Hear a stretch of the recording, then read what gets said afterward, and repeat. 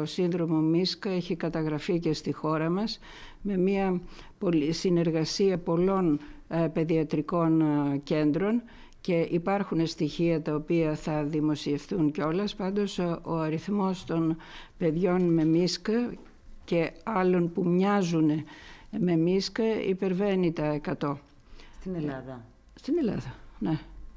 Είναι 50 παιδιά τα οποία έχουν παρουσιάσει ΜΙΣΚ και άλλα τα οποία ε, έχουν συμπτωματολογία που θα μπορούσε ε, να αποδοθεί σε ΜΙΣΚ. Πάντως, η σοβαρότητα αυτή της ε, κατάστασης μειώνεται με την γνώση πλέον της θεραπευτικής αντιμετώπισης δεδομένου ότι αυτά τα παιδιά και διαγνώστηκαν σωστά και πήραν τη θεραπεία την σωστή και έτσι δεν είχαμε, ε, δεν είχαμε ε, θανατηφόρο ε, έκβαση από όσο ξέρω, δεν ξέρω αν ήταν ένα παιδί στην αρχή.